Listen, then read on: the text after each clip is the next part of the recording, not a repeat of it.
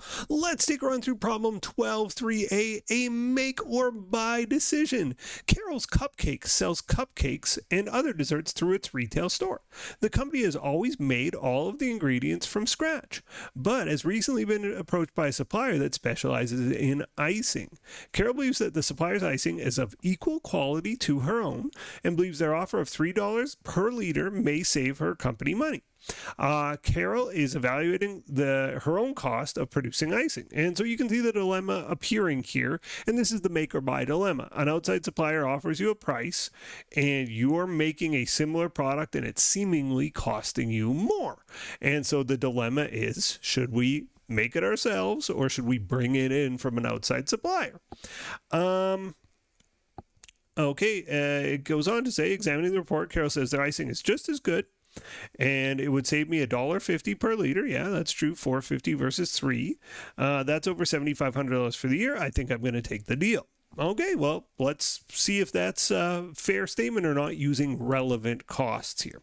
Assuming there's no other use for the icing equipment or or the extra space it uses in the kitchen, what is the net dollar advantage or disadvantage of accepting the supplier's offer? Okay, let's I always like to just prepare a little table, make versus buy, make versus buy. And let's just go through our costs and determine which costs are relevant and which are not. So materials cost I think is relevant, right? If she buys, she's not going to buy the sugar and whatever else goes in icing. I have no idea. she's not going to buy the supplies to make her own icing. So yeah, this dollar of materials just goes away. So it's a dollar under make. It's, zero dollars under buy. Direct labor. Well, there's no labor cost if you're buying, right? Like you're just bringing the stuff in. If you're making, yeah, it costs you 50 cents per unit per liter. Variable overhead. Variable costs tend to be relevant. Fixed cost tend not to be relevant. That's a sort of rule of thumb. Uh, we'll see. It's it's you know tend to be there. There are exceptions, as we will soon find out. But our variable overhead that's a relevant cost. You know, you make more uh, icing, you pay more variable costs. You make less icing, you're going to make less variable costs. So, uh, yeah, and, and if you buy, you're you're not making anything, so so the cost is different there, right? The cost would go to zero. Uh, fixed overhead traceable had a little asterisk, and I'd like to read the asterisk before I make a determination here.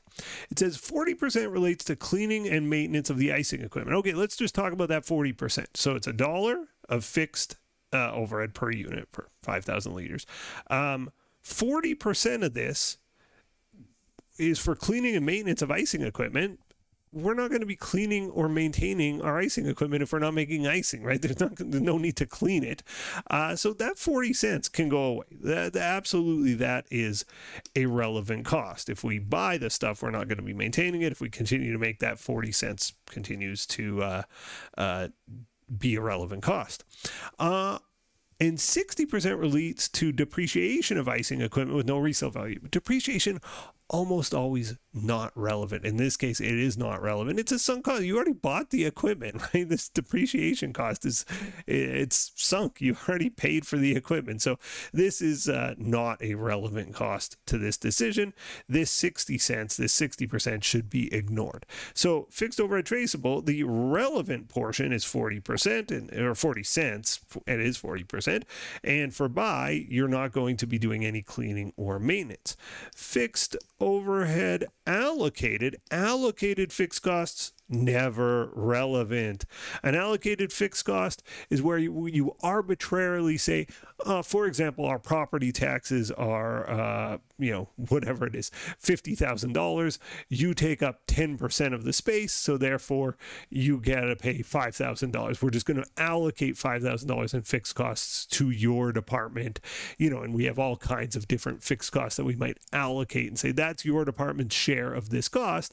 But importantly, if the department goes away, the cost remains. That's what makes it an allocated cost. So if this department goes away, all the allocated costs would just get allocated to other departments. This is not relevant. Like this cost will continue in the company. So it's not different between the alternatives. If we make, it's a dollar seventy-five a unit. If we buy, it's a dollar seventy-five a unit. So we, we make it zero. We don't consider uh, irrelevant costs here. So let's add this up. Oh, hold on, I missed one thing. There's a highly relevant cost, and that's the cost of buying, which is $3 a liter. Obviously, if that number was different, it would change our mind. If it was $10 a liter, we'd say no way. If it was 10 cents a liter, we'd say yes, please. Uh, that number is highly relevant, right? The purchase price.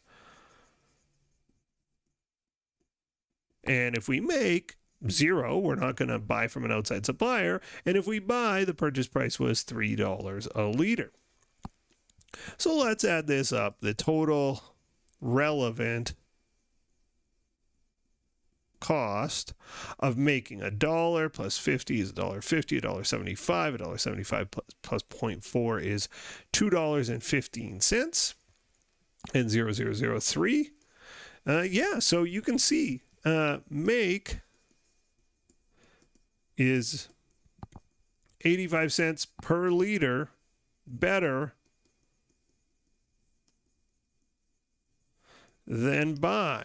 Let's read the question. It says, assuming there's no other use for the icing equipment or for the space in the kitchen, uh, what's the net dollar advantage or disadvantage of accepting the supplier's offer? So if we accept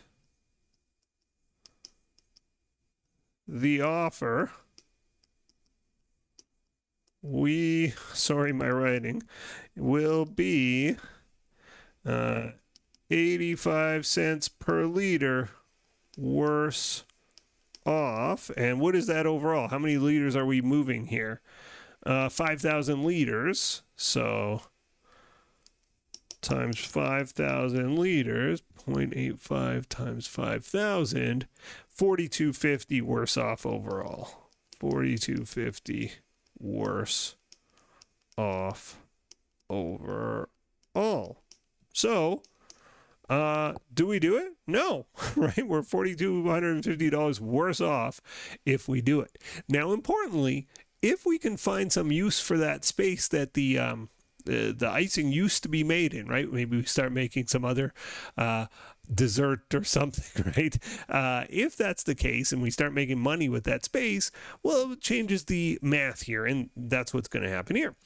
Uh, B says if the offer is accepted, Carol's Cupcakes could use the space that had previously been used for making icing as a bacon frying space. Carol believes a new bacon line of cupcakes, that sounds good to me, would produce margins of $5,000 a year. Should Carol's Cupcakes accept the supplier's offer or not? Well, now that changes the, the math. We said that buying was 4250 worse off. If we have an option, if there's an option